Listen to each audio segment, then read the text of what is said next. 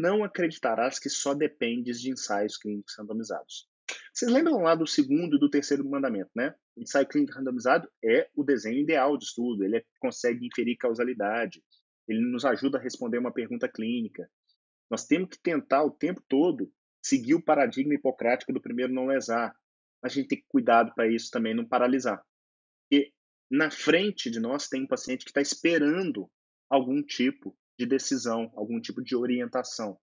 Era para vocês verem. Isso aqui é um artigo que saiu em 2004, mostrando número de publicações de ensaios clínicos randomizados e as várias especialidades. Lá no topo eu tenho ó, cardiologia, aí Tácito, Tácito, nosso cardiologista Jedi aí, ó. Ah, aparelho digestivo. Tá vendo essa rabeira aqui, ó? Verdinho? Nefrologia. Imagina se eu dependesse de ensaio clínico randomizado para fazer nefrologia. Tá perdido. E eu te digo mais, a maioria dos ensaios clínicos randomizados em nefrologia eles são negativos. Ou seja, eles falam para eu não fazer determinada coisa. Então, o que, que eu tenho que fazer? Trabalhar com a melhor evidência disponível. E utilizar desses princípios filosóficos, como a hipótese nula, para balancear se vale a pena eu tomar algum risco frente ao paciente, principalmente a hora que eu penso na questão do dolo. Ah, o remédio parece ser bom, tá, mas qual que é o risco de lesar? Se isso não está claro, é melhor ter um pezinho atrás. A não ser, obviamente, que ele traga um benefício imediato. Aí é diferente.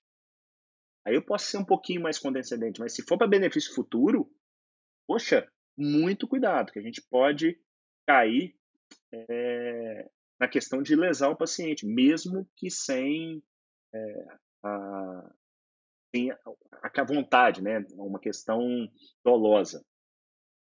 E nesse afã de acertar, muitos críticos da saúde baseada em evidências acabam citando o Carl Sagan. O Carl Sagan, para quem não conhece, é um grande defensor do pensamento científico do século XX. Ele tem essa frase que diz que ausência de evidência não é evidência de ausência. E ele está coberto de razão, porque isso aqui vai de encontro à teoria do cisne negro, da falsibilidade de Popper.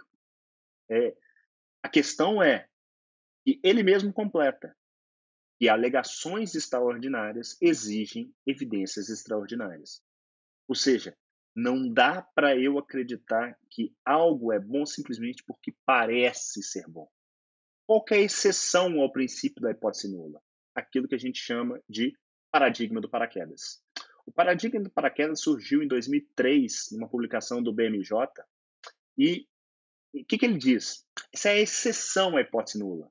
É aquela situação onde não há dúvida do benefício da intervenção quando comparada ao risco. O exemplo disso maior é o uso do paraquedas. Se tem alguma dúvida que pular com paraquedas de um avião é melhor do que pular sem, eu não preciso de um randomizado para provar isso. E aí, de forma lúdica, os autores colocam Assim como múltiplas intervenções preventivas, a efetividade do paraquedas não foi testada em um ensaio clínico randomizado. Defensores da MBE, da medicina baseada em evidência, criticam a adoção de intervenções adotadas com base em estudos observacionais. Nós pensamos que todos poderiam se beneficiar se os protagonistas radicais da MBE organizassem e participassem de um ensaio clínico randomizado, duplo cego, placebo controlado e com crossover para testar o uso do paraquedas. Isso aqui eu concordo plenamente. Qual que é o grande problema? Isso. Cair no perigo de achar que tudo é paradigma do paraquedas.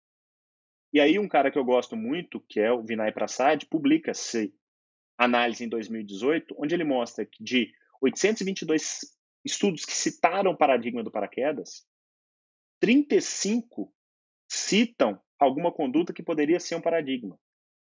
13 não tinham um ensaio clínico, 22 já tinham um ensaio clínico a respeito do tema, e só 6 eram positivos.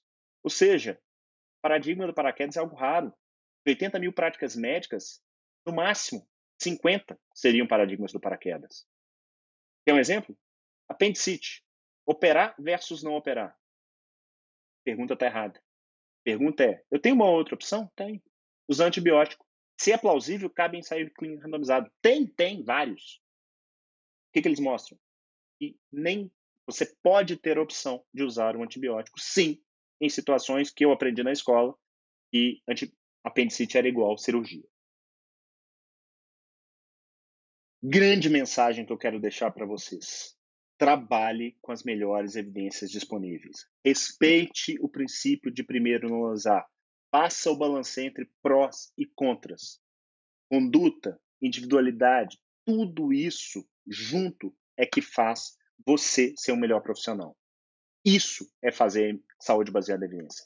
É trazer, usar isso como a saúde baseada em evidência como ferramenta, como meio e não como fim.